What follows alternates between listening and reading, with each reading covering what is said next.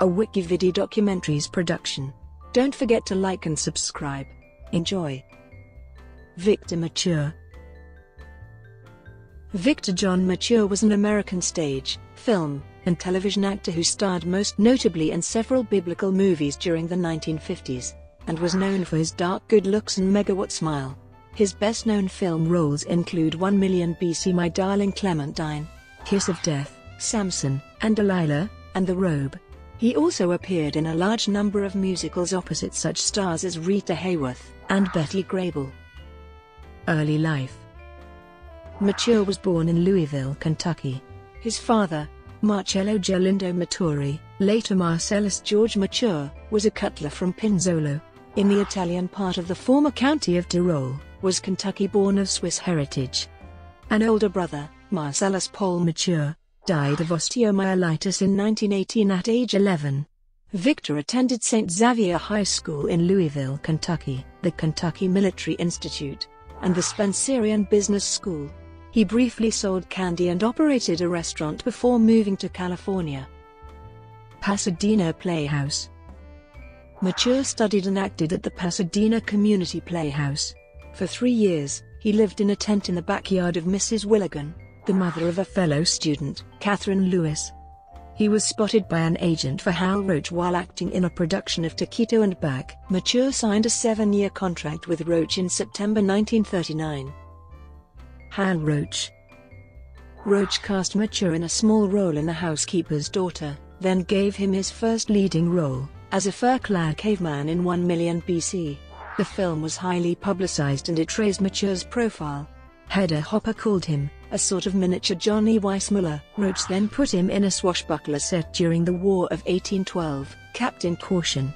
As Hal Roach only made a handful of movies every year, he loaned out Mature's services to RKO, who used him as a leading man in the Anna Neagle Herbert Wilcox musical, No, No, Nanette. The studio people were so pleased with his performance, they bought an option to take over half of Mature's contract with Hal Roach, enabling them to draw on his services for two films a year over three years. Wilcox wanted to reunite Mature with Neagle in Sunny. Roach announced Mature would support Victor McLaglen in Broadway Limited, but the film was never made. Lady in the Dark. Mature was worried about the direction of his career at this stage, claiming, Nobody was going to believe I could do anything except grunt and groan. So he went to New York to try the theater. He signed to appear in a play with the group theater, Retreat to Pleasure by Irwin Shaw. Shortly afterwards it was announced he would appear instead in the musical Lady in the Dark with a book by Moss Hart and songs from Ira Gershwin and Kurt Weill. Mature played Randy Curtis, a film star boyfriend of the show's protagonist, magazine editor Liza Elliott. Mature later described his role. First, this secretary came out saying what a beautiful hunk of man. Then Danny Kaye topped that with a long, long introductory number. Finally, I made my entrance. John Barrymore told me I was the only person who could have followed up all that. The musical debuted on Broadway in January 1941 and was a smash hit making a star of Danny Kaye and MacDonald Carey, and causing fresh appreciation for Mature's talents. His performance was well received, Brooks Atkinson of the New York Times calling him unobjectionably handsome and affable. The description of Randy Curtis in the musical, Beautiful Hunk of Man, would be frequently used to describe Mature throughout his career. Mature missed some of the run due to an emergency appendectomy, but ended up playing the role until June. 20th Century Fox. When Mature left Lady in the Dark, he announced that 20th Century Fox had bought out half of Mature's contract with Hal Roach. His first film under the contract was to be Bowery Nightingale with Alice Faye. He was going to follow this with The Shanghai Gesture, for Arnold Pressburger and Josef von Sternberg at United Artists. Bowery Nightingale was not made, so Fox instead assigned Mature to appear in a thriller with Faye. I Wake Up Screaming. Faye ended up being replaced with Betty Grable. Filming of the Shanghai Gesture was postponed to enable Mature to finish Screaming, which was a popular success. The Shanghai Gesture also proved popular. Mature was announced for a Fox musical, Highway to Hell, which ended up being postponed. Instead, he replaced John Payne in a Betty Grable musical, Song of the Islands. Mature was paid $450 a week under his contract with Roach for Shanghai Gesture, but Roach received $3,750 a week for Mature's services. Roach received $22,000 for Mature in Song of the Islands, but Mature was paid $4,000. He asked for a pay increase of $1,250 a week. RKO wanted Mature for Passage to Bordeaux, and Josef von Sternberg wanted him for Lady Panam. Instead, Mature made another musical for Fox, supporting Rita Hayworth in My Gal Sal. In November 1941, Fox bought out the four years remaining on Mature's contract with Hal Roach for $80,000. Roach had not wanted to sell. But he was in financial difficulties and his backers insisted. Mature would be paid $1,500 a week. He had also had six commitments with RKO. The studio, Fox, will have to make a success of me, said Mature. I wasn't pampered the way a Tyrone Power was, Mature recalled later of his time at Fox. Zanuck would say, if you're not careful, I'll give you Mature for your next picture. Fox talked of reuniting Hayworth and Mature in a Russian set war film Ski Patrol. Instead Mature was lent to RKO for a musical with Lucille Ball, Seven Days Leave. This was followed by Footlight Serenade with Grable and Payne. All these films were very popular at the box office. World War II In July 1942, Mature attempted to enlist in the U.S. Navy, but was rejected for color blindness. He enlisted in the U.S. Coast Guard after taking a different eye test the same day. He was assigned to the, which was part of the Greenland Patrol.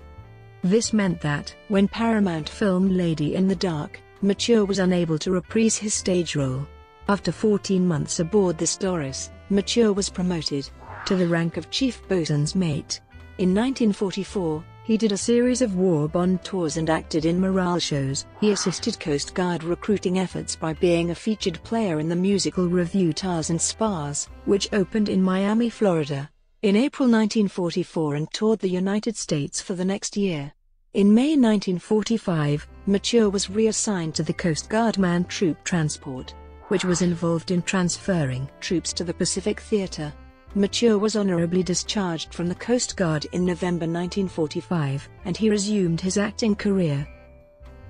Resumption of career After the war, Mature was cast by John Ford in My Darling Clementine, playing Doc Holliday opposite Henry Fonda's Wyatt Earp. The film was produced by 20th Century Fox, whose head of production Darryl F. Zanuck was delighted that Ford wanted to use Mature, telling the director, Zanuck promised Mature he would keep him away from musicals and stuck to that, casting him in the period thriller Moss Rose. Mature received a $50,000 bonus after shooting completed. His next film was the film noir, Kiss of Death, which had been developed specifically as a vehicle for him. The movie, shot mostly on location in New York, was not a particularly large hit, but was popular, earned Mature some of his best reviews and turned Richard Widmark into a star. Still at Fox, Mature made his second western, Fury, at Furnace Creek, replacing John Payne. That film co-starred Coleen Gray, who had been in Kiss of Death and Fox announced plans to team them for a third time in a remake of Seventh Heaven. However, the film was not made. Instead, he co-starred with Richard Conte in a thriller directed by Robert Siodmak, Cry of the City. Mature still had an obligation to make a movie at RKO which dated from before the war. He was announced for Battleground and Mr. Whiskers before eventually being cast in a serious drama about football, Interference, which became Easy Living, with Lucille Ball. Samson and Delilah Mature's career received a massive lift when borrowed by Cecil B. DeMille at Paramount, to play the lead in the $3.5 million biblical spectacular Samson and Delilah. DeMille described the role of Samson as a combination Tarzan, Robin Hood, and Superman. Mature was reluctant to take the role at first out of fear of risking his new post-war reputation as a serious actor. But he changed his mind. During filming, Mature was frightened by a number of the animals and mechanical props used in the production including the lions, the wind machine, the swords and even the water. This infuriated the director, DeMille, who bellowed through his megaphone at the assembled cast and crew, I have met a few men in my time. Some have been afraid of heights, some have been afraid of water. Some have been afraid of fire, some have been afraid of closed spaces.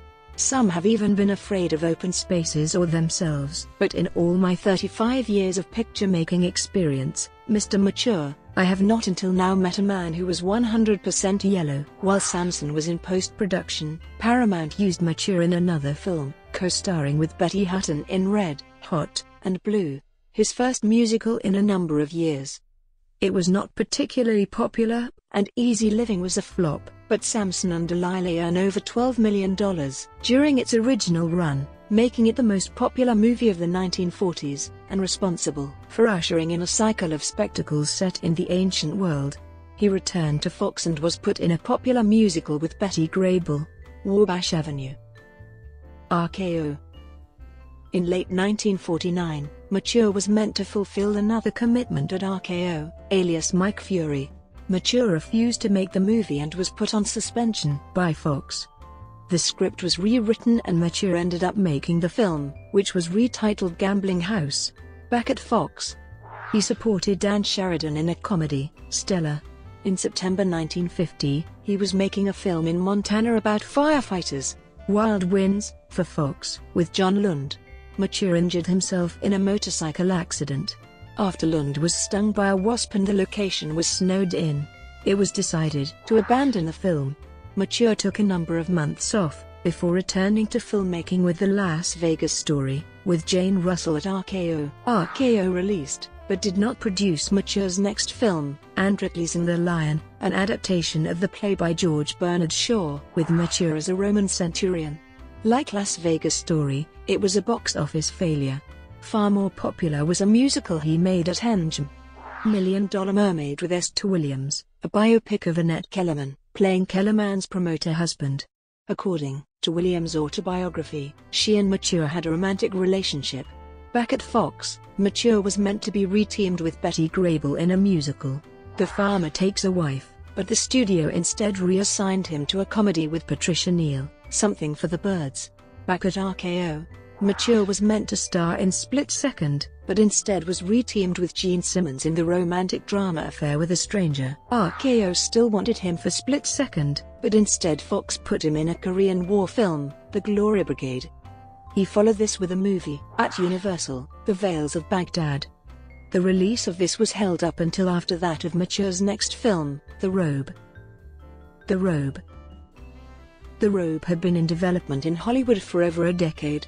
In December 1952, Mature signed to play Demetrius in two movies, The Robe and a sequel, Demetrius and the Gladiator. The films were shot consecutively. The Robe, the first CinemaScope movie to be released, was an enormous success, one of the most popular movies of all time. Veils of Baghdad was not as popular, but Demetrius and the Gladiator was another hit. Back at RKO, Mature made Dangerous Mission for producer Irwin Allen. He traveled to Holland in September 1953 to support Clark Gable and Lana Turner in a World War II film made at MGM, Betrayed, another popular success. Fox put Mature into another ancient history spectacle, The Egyptian. He was originally meant to co-star with Marlon Brando and Kirk Douglas. Mature renewed his contract with Fox for another year, his 12th at that studio. The Egyptian ended up starring Mature with Edmund Purdom and Michael Wilding, plus Bella Darvi. It was a box office disappointment. Mature went over to Universal to play the title role in Chief Crazy Horse, in exchange for a fee and a percentage of the profits. Brought to you by WikiVidi Documentaries. Would you like to know more?